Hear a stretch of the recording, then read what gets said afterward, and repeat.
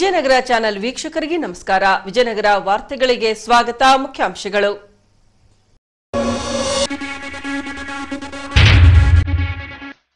February ಎಂಟು ಹಾಗೂ ಒಂಬತ್ತರಂದು ನಡೆಯಲಿರುವ ವಾಲ್ಮೀಕಿ ಜಾತ್ರೆ.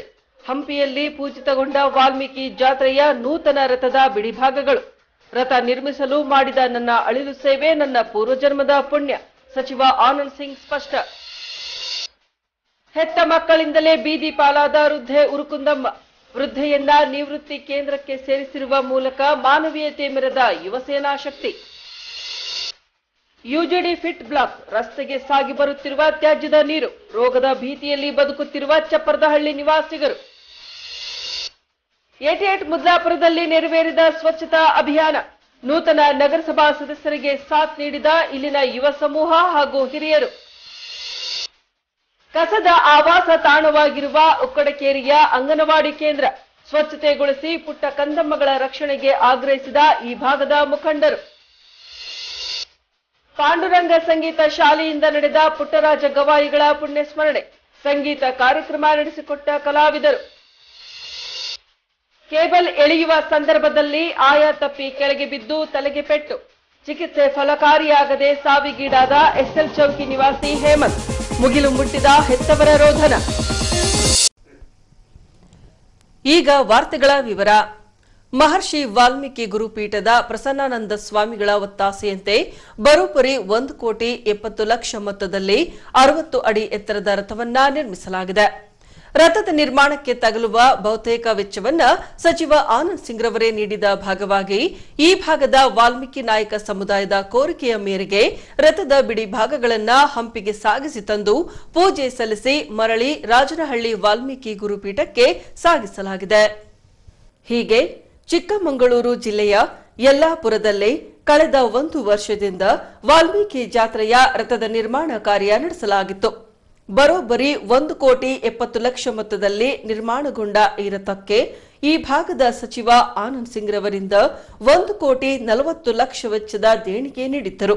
ಈ ಹಿನ್ನೆಲೆಯಲ್ಲಿ ರಥದ ನಿರ್ಮಾಣದಲ್ಲಿ ಸಚಿವ ಆನಂದ್ ಸಿಂಗ್ ರವರ ಬಹುಪಾಲು ಇರುವುದರಿಂದ ಈ ಭಾಗದ ನಾಯಕ ಸಮುದಾಯದ ಆಸೆಯಂತೆ ಯಲ್ಲಾಪುರದಿಂದ ರಥದ ಬಿಡಿ ಭಾಗಗಳನ್ನ ವಾಹನದ ಮೂಲಕ ಹಂಪಿಗೆ ಸಾಗಿಸಿ ತಂದು ಹಂಪಿಯ ವಿರೂಪಾಕ್ಷೇಶ್ವರ ಸ್ವಾಮಿಯ ಸನ್ನಿಧಿಯಲ್ಲಿ ರಥದ ಬಿಡಿ ಭಾಗಗಳನ್ನ ಪೂಜೆ ಸಲ್ಲಿಸಲಾಯಿತು.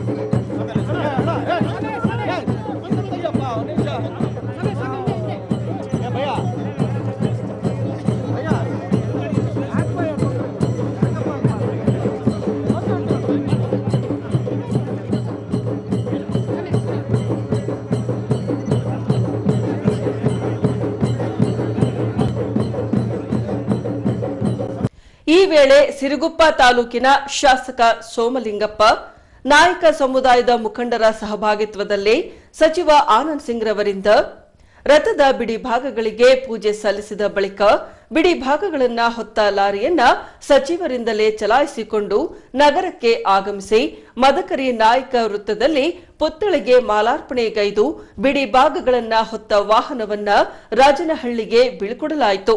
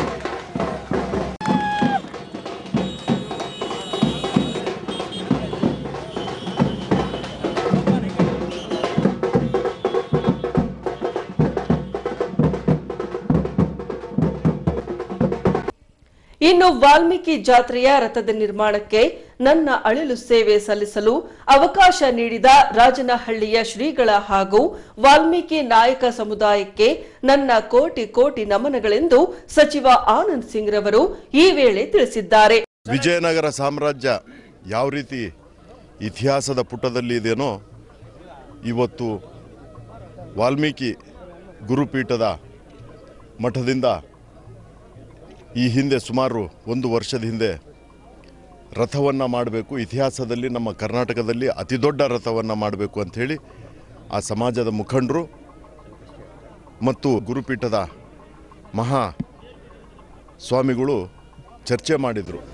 ನಾನು ಅವತ್ತು ಆಲೋಚನೆ ಮಾಡಿ, ಇವತ್ತು ನಾವು ವಿಜಯನಗರ ಸಾಮ್ರಾಜ್ಯದ ಈ ಪುಣ್ಯ ಭೂಮಿನಲ್ಲಿ ಹುಟ್ಟಿದ್ದೀವಿ ಅಂದರೆ ಈ ಸಮಾಜ ಹೆಮ್ಮೆ ಪಡುವಂಥ ರೀತಿಯಲ್ಲಿ ನಮ್ಮ ಕೈಲೇ ಎಷ್ಟು ಸಾಧ್ಯ ಆಗುತ್ತೋ ಸಾಧ್ಯ ಆದಷ್ಟು ನಾವು ಸಹಾಯ ಮಾಡೋಣ ಅಂಥೇಳಿ ಬಹುಪಾಲಿನ ಕೊಡುಗೆ ನಾವೇ ಕೊಡಬಾರ್ದು, ಎಲ್ಲರದು ಹನಿ ಹನಿ ಸೇರಿಸಿದರೆ ಹಳ್ಳ ಅಂಥೇಳಿ ನಾವೇನು ಈ ಇತಿಹಾಸದ ಒಂದು ಉದಾಹರಣೆಗಳು ಕೊಡ್ತೀವೋ, ನಾನು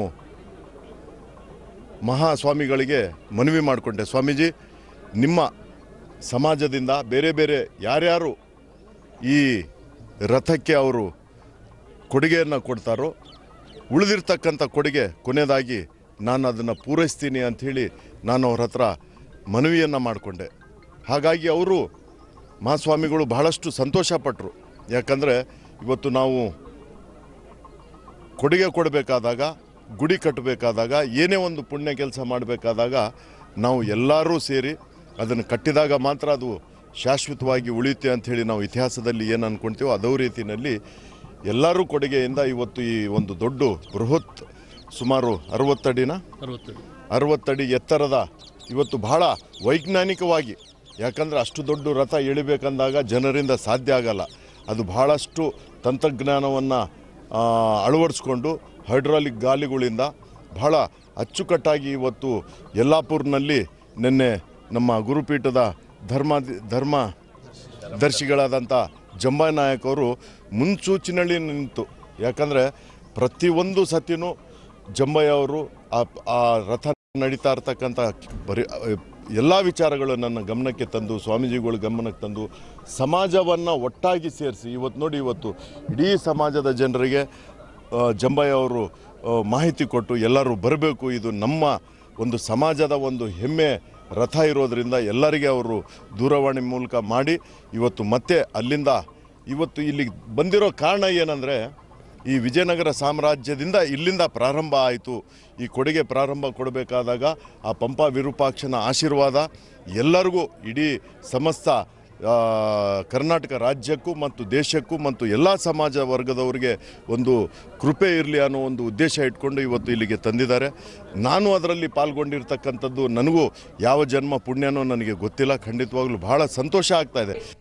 ಇನ್ನು ಒಂಬತ್ತು ಜನ ಸೇರಿ ವಾಲ್ಮೀಕಿ ರಥದ ನಿರ್ಮಾಣ ಮಾಡಬೇಕೆಂದು ಗುರುಪೀಠದ ಶ್ರೀಗಳಿಂದ ಸೂಚಿಸಲಾಗಿತ್ತು.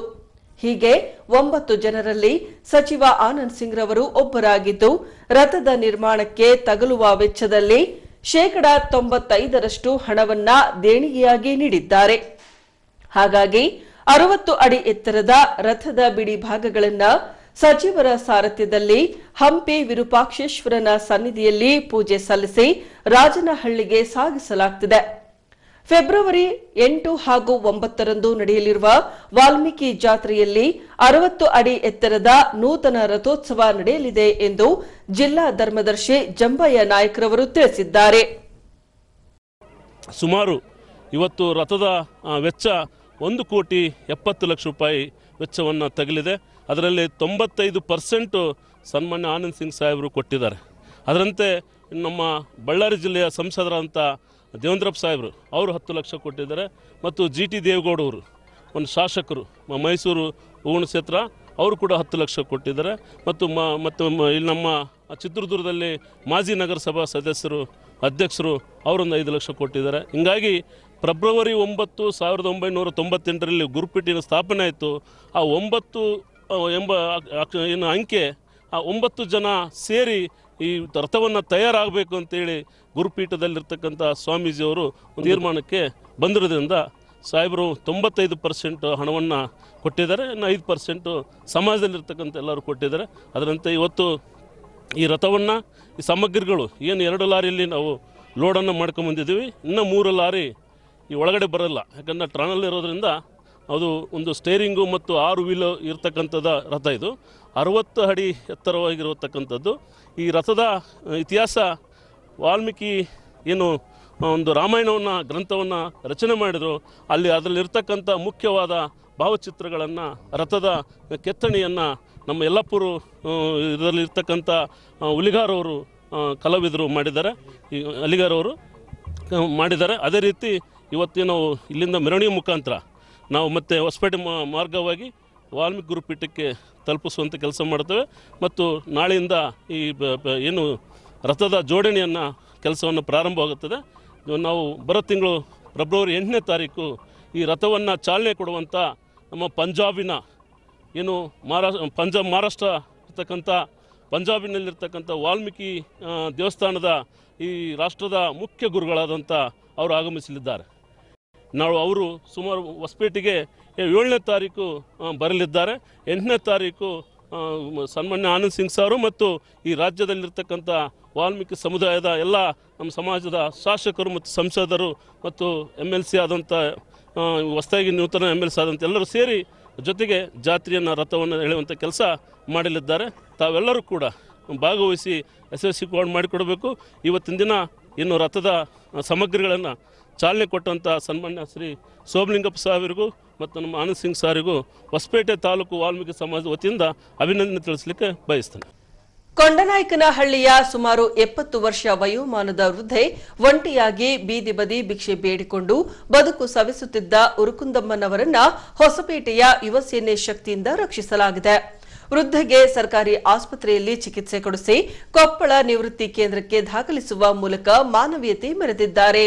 ಹೊಸಪೇಟೆಯ ಮಾಜಿ ನಗರಸಭಾ ಸದಸ್ಯ ಶ್ರೀಧರ್ ನಾಯ್ಡು ಸಾರಥ್ಯದ ಯುವ ಸೇನೆ ಶಕ್ತಿಯು ಸಂಕಷ್ಟಕ್ಕೆ ಸಿಲುಕಿದ ಹಲವರನ್ನ ರಕ್ಷಿಸಿಕೊಂಡು ಬರಲಾಗ್ತಿದೆ. ಹೀಗೆ ನಗರದ ಅಲ್ಲಲ್ಲಿ ಒಂಟಿಯಾಗಿ ಭಿಕ್ಷೆ ಬೇಡಿಕೊಂಡು ಬದುಕು ಸಾಗಿಸುತ್ತಿದ್ದ ಉರುಕುಂದಮ್ಮ ಎಂಬ ಎಪ್ಪತ್ತು ವರ್ಷ ವಯೋಮಾನದ ವೃದ್ಧೆಯನ್ನ ಗಮನಿಸಿದ ಯುವಸೇನಾ ಶಕ್ತಿ ಸದಸ್ಯರು ವೃದ್ಧೆಯನ್ನ ವಿಚಾರಿಸಲಾಗಿ, ನಾನು ಕೊಂಡನಾಯಕನಹಳ್ಳಿ ನಿವಾಸಿ. ನನ್ನ ಗಂಡ ರೈಲ್ವೆ ಇಲಾಖೆಯಲ್ಲಿ ಸೇವೆ ಸಲ್ಲಿಸಿ ನಿವೃತ್ತಿ ಬಳಿಕ ತೀರಿಕೊಂಡ.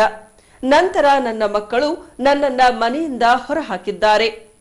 ಪ್ರತಿ ತಿಂಗಳು ನನ್ನ ಗಂಡನ ಪಿಂಚಣಿ ಬರುತ್ತದೆ. ಅದನ್ನ ನನ್ನ ಮಕ್ಕಳೇ ತೆಗೆದುಕೊಳ್ಳುತ್ತಾರೆಂದು ತಿಳಿಸಿದ್ದಾರೆ. ಹೀಗೆ ಆರೋಗ್ಯದಲ್ಲಿ ಏರುಪೇರು ಇದ್ದದ್ದನ್ನ ಕಂಡ ಯುವ ಸೇನೆಯು ಅಧ್ಯಕ್ಷ ಶ್ರೀಧರ್ ನಾಯ್ಡುರವರ ಸಹಕಾರ ಪಡೆದು ಸ್ಥಳೀಯ ಸರ್ಕಾರಿ ಆಸ್ಪತ್ರೆಗೆ ದಾಖಲಿಸಿ ಚಿಕಿತ್ಸೆ ಕೊಡಿಸಿದ್ದಾರೆ. ಹೀಗೆ ವೃದ್ಧೆ ಚೇತರಿಸಿಕೊಂಡ ನಂತರ ಆಂಬ್ಯುಲೆನ್ಸ್ ಮೂಲಕ ಕೊಪ್ಪಳದ ನಿವೃತ್ತಿ ಕೇಂದ್ರಕ್ಕೆ ಕರೆದೊಯ್ದು ವೃದ್ಧೆಯನ್ನ ರಕ್ಷಿಸುವ ಮೂಲಕ ಮಾನವೀಯತೆ ಮೆರೆದಿರುವ ಯುವ ಸೇನಾ ಶಕ್ತಿಯ ಕಾಯಕಕ್ಕೆ ಸಾರ್ವಜನಿಕರಿಂದ ಮೆಚ್ಚುಗೆ ವ್ಯಕ್ತಪಡಿಸಲಾಗಿದೆ. ಇನ್ನು ನಿತ್ಯವೂ ಕೊಪ್ಪಳದ ನಿವೃತ್ತಿ ಕೇಂದ್ರಕ್ಕೆ ತೆರಳಿ ವೃದ್ಧೆಯ ಆರೋಗ್ಯದ ಕುರಿತು ಮಾಹಿತಿ ಸಂಗ್ರಹಿಸಿ ಅಜ್ಜಿಯೊಂದಿಗೆ ತುಸು ಹೊತ್ತು ಕುಶಲೋಪರಿ ನಡೆಸಿ ಬರಲಾಗುತ್ತಿದೆ ಎಂದು ಅಧ್ಯಕ್ಷ ಶ್ರೀಧರ್ ನಾಯ್ಡುರವರು ತಿಳಿಸಿದ್ದಾರೆ. ಅವೈಜ್ಞಾನಿಕವಾಗಿ ನಿರ್ಮಿಸಿರುವ ಯುಜಿಡಿ ಫಿಟ್ಗಳು ಬ್ಲಾಕ್ ಆಗಿ ಅದರಿಂದ ತ್ಯಾಜ್ಯ ತುಂಬಿದ ನೀರು ರಸ್ತೆಗೆ ಸಾಗಿ ಬರ್ತಿದೆ ಅಷ್ಟೇ ಅಲ್ಲದೆ ಮನೆಯ ಕಕ್ಕಸ ಹಾಗೂ ಸ್ನಾನಗೃಹದಲ್ಲೂ ನುಗ್ಗುತ್ತಿದೆ. ಇದರಿಂದ ನಗರದ ಕೆಲ ಭಾಗದ ನಿವಾಸಿಗರು ನಿತ್ಯವೂ ನರಕ ಯಾತನೆ ಅನುಭವಿಸುತ್ತಿದ್ದಾರೆ. ಹೌದು, ಹೊಸಪೇಟೆ ನಗರಸಭಾ ವ್ಯಾಪ್ತಿಗೆ ಬರುವ ಇಪ್ಪತ್ತೇಳನೇ ವಾರ್ಡ್ ಚಪ್ಪರದಹಳ್ಳಿ ಏರಿಯಾದಲ್ಲಿನ ಒಳಚರಂಡಿ ಫಿಟ್ಗಳು ಬ್ಲಾಕ್ ಆಗಿರುವುದರಿಂದ ತ್ಯಾಜ್ಯದಿಂದ ತುಂಬಿರುವ ಕಲುಷಿತ ನೀರು ರಸ್ತೆಗೆ ಹರಿದು ಬರುತ್ತಿದೆ. ಅಷ್ಟೇ ಅಲ್ಲದೆ ಮನೆಯೊಳಗಿನ ಶೌಚಾಲಯ ಹಾಗೂ ಸ್ನಾನ ಗೃಹದೊಳಗೆ ಕಲುಷಿತ ನೀರು ನುಗ್ಗುತ್ತಿದೆ. ಇದರಿಂದ ಬರುವ ದುರ್ವಾಸನೆಯಿಂದಾಗಿ ನಾವು ಜೀವಿಸದಾದರೂ ಹೇಗೆ ಎನ್ನುತ್ತಾರೆ ಇಲ್ಲಿನ ನಿವಾಸಿಗರು. ಇಪ್ಪತ್ತೇಳನೇ ಎಲ್ಲ ಚೇಂಬರ್ಗಳು ಬ್ಲಾಕ್ ಆಗ್ಯಾವ. ನಮ್ಮ ಮನೆ ತುಂಬ, ಬಚ್ಚಲು ತುಂಬ ನೀರು ಬ್ಲಾಕ್ ಆಗೈತಿ. ಎಲ್ಲ ಇವಾಗ ಕೊರನ್ಗಳು ಜಾಸ್ತಿ ಆಗಿದಾವ. ಇದು ಬಂದು ದಯವಿಟ್ಟು ಎಲ್ಲ ಮಾಡಿಸ್ಕೊಡ್ಬೇಕು ಅಂತ ಇನ್ನು ಕಲುಷಿತ ನೀರು ಕುಡಿಯುವ ನೀರಿನ ಗುಂಡಿಯೊಳಗೆ ಸಾಗಿ ಬರುವುದರಿಂದ ಕುಡಿಯುವ ನೀರು ಕೂಡ ದುರ್ವಾಸನೆಯಿಂದ ಕೂಡಿರುತ್ತದೆ. ಹಾಗಾಗಿ ನಗರಸಭಾ ಸದಸ್ಯರಾಗಲಿ ಅಥವಾ ಅಧಿಕಾರಿಗಳಾಗಲಿ ಇತ್ತ ಗಮನ ಹರಿಸಿ ಯುಜಿಡಿ ತ್ಯಾಜ್ಯ ಸರಾಗವಾಗಿ ಸಾಗುವ ವ್ಯವಸ್ಥೆ ಕಲ್ಪಿಸಿ ಆರೋಗ್ಯಕರ ವಾತಾವರಣ ಸೃಷ್ಟಿಸಬೇಕೆಂದು ಇಲ್ಲಿನ ನಿವಾಸಿಗರ ಆಗ್ರಹವಾಗಿದೆ. ಎಲ್ಲ ಚೇಂಬರ್ಗಳು ತುಂಬಿಟ್ಟವ ಎಲ್ಲ ಹೊಡ್ಯಾಕು ಇದಾಗ್ತಾ ಇದೆ. ಬಹಳ ಕಷ್ಟ ಆಗಕ್ಕಂತೈತಿ ನೋಡ್ರಿ. ಒಳಗೆಲ್ಲ ನೀರ್ ಬರ್ತಾ ಇದಾವ. ಕೊರೋನಾ ಸೆಷನ್ದಿಂದ ಇದಾಗ ಕುಂತೈತೆ. ನೋಡ್ರಿ ಒಂದ್ ಸ್ವಲ್ಪ. ರೋಗಗಳು ಬರ್ತಿದಾವ. ಹುಡುಗರಿಗೆ ಸಣ್ಣ ಮಕ್ಕಳು ಇದಾವ. ಎಲ್ಲರ ಇದಾರ. ಹೊಸಪೇಟೆ ನಗರಸಭಾ ವ್ಯಾಪ್ತಿಗೆ ಬರುವ ಎರಡನೇ ವಾರ್ಡ್ ಏಟಿಎಟ್ ಮುದ್ಲಾಪುರ ಪ್ರದೇಶದಲ್ಲಿ ಸ್ವಚ್ಛತಾ ಅಭಿಯಾನ ಕೈಗೊಳ್ಳಲಾಗಿತ್ತು. ಈ ಭಾಗವಾಗಿ ಇಲ್ಲಿನ ನೂತನ ನಗರಸಭಾ ಸದಸ್ಯ ಜೀವರತ್ನಂರವರೊಂದಿಗೆ ಇಲ್ಲಿನ ನಿವಾಸಿಗರು ಕೈಜೋಡಿಸಿ ಸ್ವಚ್ಛತಾ ಅಭಿಯಾನಕ್ಕೆ ಸಾಥ್ ನೀಡಿದರು. ಇತ್ತೀಚೆಗೆ ನಡೆದ ಹೊಸಪೇಟೆ ನಗರಸಭಾ ಚುನಾವಣೆಯಲ್ಲಿ ಎರಡನೇ ವಾರ್ಡ್ನಿಂದ ಆರಿಸಿ ಬಂದ ಬಿಜೆಪಿ ಅಭ್ಯರ್ಥಿ ಜೀವರತ್ನಂರವರು ಇದೇ ಮೊದಲ ಬಾರಿಗೆ ಏಟಿಎಟ್ ಮುದ್ಲಾಪುರದಲ್ಲಿ ಸ್ವಚ್ಛತಾ ಅಭಿಯಾನವನ್ನ ಹಮ್ಮಿಕೊಂಡಿದ್ದರು. ಈ ಭಾಗವಾಗಿ ಏಟಿಎಟ್ ಮುದ್ಲಾಪುರದ ಮುಖಂಡರು, ಯುವ ಸಮೂಹ, ಮಹಿಳೆಯರು ಹಾಗೂ ಮಕ್ಕಳಿಂದ ಮುಖ್ಯ ರಸ್ತೆ ಹಾಗೂ ಗಲ್ಲಿಗಳಲ್ಲಿ ಕಸಗೂಡಿಸುವ ಮೂಲಕ ಸ್ವಚ್ಛತಾ ಅಭಿಯಾನ ನಡೆಸಿದರು. ಇನ್ನು ತಮ್ಮ ತಮ್ಮ ಮನೆಯ ಸುತ್ತಮುತ್ತಲಿನ ಪ್ರದೇಶವನ್ನ ಸ್ವಚ್ಛತೆಯಿಂದ ಕಾಪಾಡಿಕೊಳ್ಳಬೇಕೆಂದು ಎರಡನೇ ವಾರ್ಡಿನ ನಗರಸಭಾ ಸದಸ್ಯ ಜೀವರತ್ನಂರವರು ಇಲ್ಲಿನ ನಿವಾಸಿಗರಲ್ಲಿ ಸ್ವಚ್ಛತೆ ಕುರಿತು ಜಾಗೃತಿ ಮೂಡಿಸಿದರು. ಐದು ವರ್ಷದೊಳಗಿನ ಮಕ್ಕಳಿಗೆ ಪೌಷ್ಟಿಕ ಆಹಾರದ ಜೊತೆಗೆ ಅಕ್ಷರ ಜ್ಞಾನ ನೀಡುವ ನಿಟ್ಟಿನಲ್ಲಿ ದೇಶವ್ಯಾಪಿ ಅಂಗನವಾಡಿ ಕೇಂದ್ರಗಳನ್ನು ನಿರ್ಮಿಸಿ ಅಂಗನವಾಡಿ ಕಾರ್ಯಕರ್ತೆಯರಿಂದ ಮಕ್ಕಳನ್ನ ಪೋಷಿಸಲಾಗುತ್ತಿದೆ ಬಟ್ ಕೆಲ ಅಂಗನವಾಡಿ ಕೇಂದ್ರಗಳು ಕಸದ ಆವಾಸ ತಾಣಗಳಾಗಿ ಪರಿವರ್ತನೆಗೊಂಡಿವೆ. ಹೌದು, ಹೊಸಪೇಟೆಯ ಉಕ್ಕಡಕೇರಿಯಲ್ಲಿ ಅಂಗನವಾಡಿ ಕೇಂದ್ರವನ್ನ ನಿರ್ಮಿಸಲಾಗಿದೆ. ಇಲ್ಲಿ ಐದು ವರ್ಷದೊಳಗಿನ ಮಕ್ಕಳಿಗೆ ಪೌಷ್ಟಿಕ ಆಹಾರದೊಂದಿಗೆ ಆಟದ ಮೂಲಕ ಅಕ್ಷರ ಜ್ಞಾನ ನೀಡಲಾಗುತ್ತದೆ ಆದರೆ ಇಲ್ಲಿನ ಮೂರನೇ ಅಂಗನವಾಡಿ ಕೇಂದ್ರದ ಆವರಣ ಕಸದಿಂದ ತುಂಬಿಕೊಂಡಿದೆ. ಕರ್ನಾಟಕ ಸರ್ಕಾರ ಮಹಿಳಾ ಮತ್ತು ಮಕ್ಕಳ ಅಭಿವೃದ್ಧಿ ಇಲಾಖೆಯಿಂದ ನೂತನವಾಗಿ ಅಂಗನವಾಡಿ ಕೇಂದ್ರವನ್ನ ನಿರ್ಮಿಸಲಾಗಿದ್ದು, ಇಲ್ಲಿನ ಆವರಣ ಪ್ಲಾಸ್ಟಿಕ್ ಚೀಲಗಳಿಂದ ತುಂಬಿದೆ. ಹಂದಿಗಳ ಆವಾಸ ತಾಣವಾಗಿದೆ. ಜೊತೆಗೆ ತ್ಯಾಜ್ಯದ ನೀರು ಕಾಂಪೌಂಡ್ ಒಳಗೆ ನುಗ್ಗಿದ ಭಾಗವಾಗಿ ಸೊಳ್ಳೆಗಳ ಉತ್ಪನ್ನ ಕೇಂದ್ರವಾಗಿ ಪರಿವರ್ತನೆಗೊಂಡಿದೆ. ಹಾಗಾಗಿ ಮೂವತ್ತೈದನೇ ವಾರ್ಡ್ ವ್ಯಾಪ್ತಿಗೆ ಬರುವ ಇಲ್ಲಿನ ಅಂಗನವಾಡಿ ಕೇಂದ್ರದ ಆವರಣವನ್ನ ಸ್ವಚ್ಛಗೊಳಿಸಿ ಮಕ್ಕಳ ಆರೋಗ್ಯವನ್ನ ಕಾಪಾಡಬೇಕೆಂದು ಇಲ್ಲಿನ ಮುಖಂಡರು ನಗರಸಭೆ ಹಾಗೂ ಮಹಿಳಾ ಮತ್ತು ಮಕ್ಕಳ ಅಭಿವೃದ್ಧಿ ಇಲಾಖೆಗೆ ಒತ್ತಾಯಿಸಿದ್ದಾರೆ. ಇವತ್ತು ಅಂಗನವಾಡಿ ಶಾಲೆ ಆಗಿದೆ ಮಕ್ಕಳನ್ನ. ಆ್ಯಕ್ಚುಲಿ ಇಲ್ಲಿ ಅಂಗನವಾಡಿ ಶಾಲೆ ನಿರ್ಮಾಣ ಮಾಡಬೇಕಾಗಿರ್ತಕ್ಕನ್ನೋದು ಸತ್ಯ ಇದ್ರೂ ಕೂಡ. ಬಟ್ ಅದನ್ನು ಯಾವ ರೀತಿಯಾಗಿ ಅದನ್ನು ಇಲ್ಲಿರುವಂಥ ಶೌಚಾಲಯಗಳಿದ್ದಾವೆ ಪಕ್ಕಕ್ಕೆ ಚಿಕ್ಕ ಚಿಕ್ಕ ಮಕ್ಕಳಿದ್ದಾವೆ ಅಂದ್ರೆ ಅವು ಇನ್ನೂ ಹಸುಗುಸುಗಳು. ಆದರೆ ಸಣ್ಣ ಅವರಿಗೆ ಒಂದು ಇಮ್ಯುನಿಟಿ ಪವರ್ ಕೂಡ ಅವ್ರಿಗೆ ಭಾಳ ಕಡಿಮೆ ಇರ್ತೈತೆ. ಇಂಥ ಒಂದು ಸಂದರ್ಭದಲ್ಲಿ ಮಕ್ಕಳ ಅಂಗನವಾಡಿ ಶಾಲೆ ನಿರ್ಮಾಣ ಮಾಡೋದ್ರಿಂದ ಇವತ್ತು ಅನೇಕ ರೋಗಗಳು ಉಲ್ಬಣ ಆತಂದ್ರೆ ಮಕ್ಕಳ ಭವಿಷ್ಯ ಕೂಡ ಇವತ್ತು ಕುಂಠಿತ ಆಗ್ತಕ್ಕಂಥ ಪರಿಸ್ಥಿತಿ ಇದೆ. ಅಂದರೆ ಆರೋಗ್ಯ ಕ್ಷೀಣಿಸ್ತಕ್ಕಂಥ ಪರಿಸ್ಥಿತಿಗಳು ಇರ್ತಕ್ಕಂಥದ್ದು. ಒಂದು ಅಕ್ಕಪಕ್ಕದಲ್ಲಿ ಇರ್ತಕ್ಕಂಥ ಜನರಿಗೆ ಕೂಡ ತುಂಬ ಒಂದು ಭಾಳ ಒಂದು ಒಂದು ವಾತಾವರಣ ಕೂಡ ಸರಿ ಇರ್ತಕ್ಕಂಥದ್ದು ಕೂಡ ನಾವು ಕನ್ಸಿಡರ್ ಮಾಡಬಹುದು. ವಾರಕ್ಕೊಮ್ಮೆ ನಗರಸಭೆಯವರು ಸ್ವಚ್ಛತೆಯನ್ನು ಗೊಳಿಸ್ಬೇಕಂತಕ್ಕಂಥದ್ದು ಒಂದು ಅಭಿಪ್ರಾಯ ಇದೆ. ಜೊತೆಗೆ ಇವತ್ತು ಅಂಗನವಾಡಿ ಕೇಂದ್ರ ಆಗಿದೆ. ಚಿಕ್ಕ ಚಿಕ್ಕ ಮಕ್ಕಳಲ್ಲಿ ಬರೋದ್ರಿಂದ ಸೊಳ್ಳೆಗಳು ವಿಪರೀತ ಆಗ್ತಾ ಇದಾವೆ. ಅದ್ರ ಜೊತೆಗಿನ ಮಕ್ಕಳ ಆರೋಗ್ಯ ಕೂಡ ಇವತ್ತು ಮುಂದಿನ ದಿನಮಾನಗಳಲ್ಲಿ ಅವ್ರಿಗೆ ಕ್ಷೀಣಿಸ್ತಕ್ಕಂಥ ಒಂದು ವಾತಾವರಣ ಇದೆ. ಸೊ ಹಾಗಾಗಿ ಅಂಗನವಾಡಿಯಲ್ಲಿ ಇರ್ತಕ್ಕಂಥ ಚಿಕ್ಕ ಮಕ್ಕಳಿಗೆ ಇವತ್ತು ಏನೆಲ್ಲ ಇಲ್ಲಿ ಸ್ವಚ್ಛತೆ ಮಾಡಬೇಕಾಗಿತ್ತು ಅದನ್ನು ನಗರಸಭೆಯವರು ಕೂಡಲೇ ಮಾಡಬೇಕು.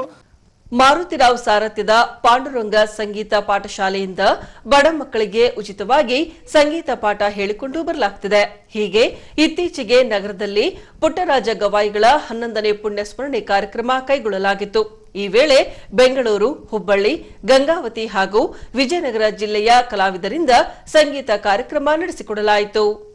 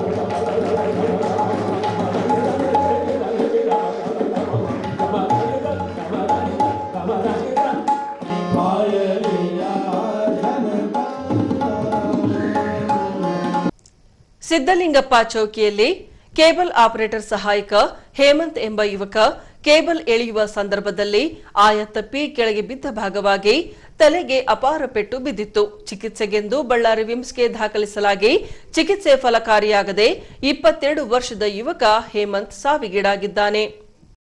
ಹೇಮಂತ್ ಎಂಬ ಇಪ್ಪತ್ತೆರಡು ವರ್ಷದ ಯುವಕ ದಿನಾಂಕ ಒಂಬತ್ತರಂದು ಸಿದ್ದಲಿಂಗಪ್ಪ ಚೌಕಿ ಪ್ರದೇಶದಲ್ಲಿ ಏಣಿಯನ್ನ ಹತ್ತಿ ಕೇಬಲ್ ಎಳೆಯುವ ಸಂದರ್ಭದಲ್ಲಿ ಆಯಾ ತಪ್ಪಿ ಕೆಳಗೆ ಬಿದ್ದಿದ್ದಾನೆ.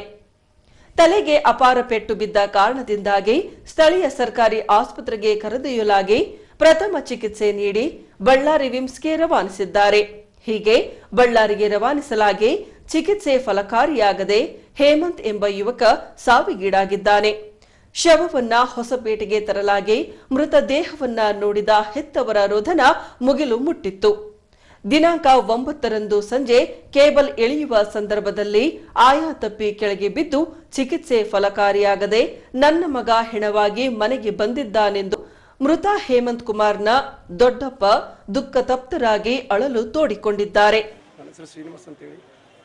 ನಿನ್ನೆ ದಿನ ನನ್ನ ಮೊಮ್ಮಗ, ನನ್ನ ಮಗ ಒಬ್ಬನು ನಮ್ಮ ಅಣ್ಣನ ಮಗ ಕೇಬಲ್ ಕೆಲಸ ಮಾಡಕ್ಕೆ ಹೋಗಿ, ಏಣೆ ಹಾಕಿ ಕೆಲಸ ಹೋಗಿ ಜಾರಿ ಬಿದ್ದು ಹಿಂದೆ ತಲೆಗೆ ಪೆಟ್ಟು ಬಿದ್ದು ಹಂಡ್ರೆಡ್ ಬೆಡ್ ಹಾಸ್ಪಿಟಲ್ ಸೇರಿಸಿದ್ವಿ.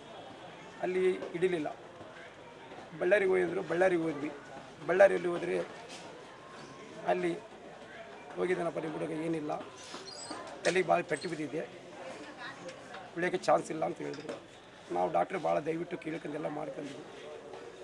ಆದರೆ ದೇವರು ನನ್ನ ಮಗನ್ನ ಆದಷ್ಟು ಬೇಗ ಒಯ್ದುಬಿಟ್ಟ ಅಂತ ಹುಡುಗ ಸಿಗ್ಬೇಕಂದ್ರೆ ಭಾಳ ಪುಣ್ಯ ಮಾಡಿರ್ಬೇಕು.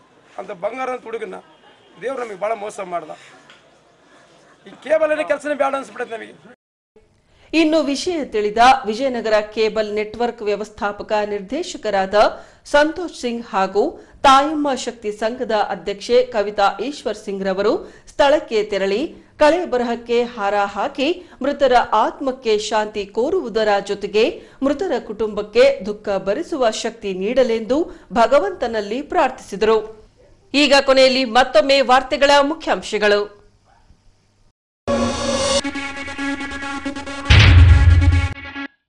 ಫೆಬ್ರವರಿ ಎಂಟು ಹಾಗೂ ಒಂಬತ್ತರಂದು ನಡೆಯಲಿರುವ ವಾಲ್ಮೀಕಿ ಜಾತ್ರೆ. ಹಂಪಿಯಲ್ಲಿ ಪೂಜಿತಗೊಂಡ ವಾಲ್ಮೀಕಿ ಜಾತ್ರೆಯ ನೂತನ ರಥದ ಬಿಡಿಭಾಗಗಳು. ರಥ ನಿರ್ಮಿಸಲು ಮಾಡಿದ ನನ್ನ ಅಳಿಲು ಸೇವೆ, ನನ್ನ ಪೂರ್ವಜನ್ಮದ ಪುಣ್ಯ. ಸಚಿವ ಆನಂದ್ ಸಿಂಗ್ ಸ್ಪಷ್ಟ. ಹೆತ್ತ ಮಕ್ಕಳಿಂದಲೇ ಬೀದಿ ಪಾಲಾದ ವೃದ್ಧೆ ಉರುಕುಂದಮ್ಮ.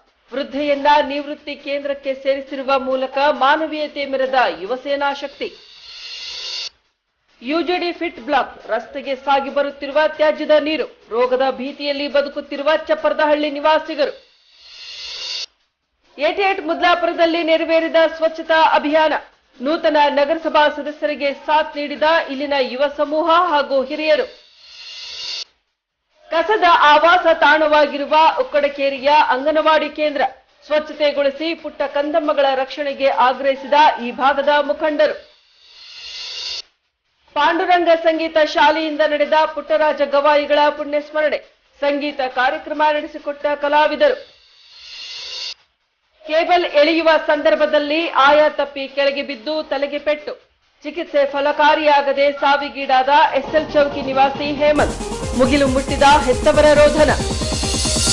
ಇಲ್ಲಿಗೆ ವಾರ್ತಾ ಪ್ರಸಾರ ಮುಕ್ತಾಯವಾಯಿತು. ವಂದನೆಗಳೊಂದಿಗೆ ನಯನ ಉಮೇಶ್.